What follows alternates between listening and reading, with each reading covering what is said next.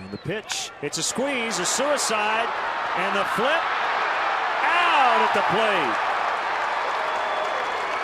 Russell and Soto team up and they get Barajas. They had to tag him, and Soto did. Very close, and they got him. Well, what a great play by James Russell. Looked like he was almost going to try to outrun Rod Barajas to home plate at the last instant. The backhanded shovel toss onto Soto, who's able to hang on for the out. What a great play.